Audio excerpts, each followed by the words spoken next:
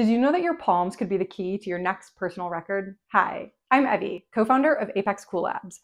We make the Narwhals, a palm cooling device. Palm cooling is a proven method for increasing training volume, gaining strength faster, and accelerating recovery during competition.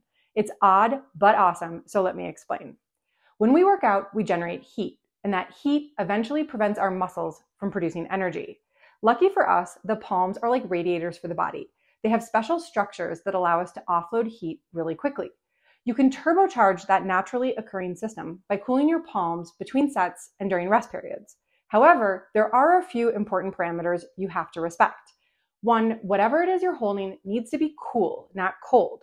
If it's too cold, most people will vasoconstrict and won't get the blood flow needed. Two, whatever it is you're holding needs to be something with good thermal conductivity. Think aluminum or copper. And three, it needs some form of mechanism to whisk away the heat. The impact of palm cooling is incredible. In one study, participants increased their pull up volume by 144% in just six weeks. And in another study, trained individuals increased their bench strength by 22%, again, in six weeks.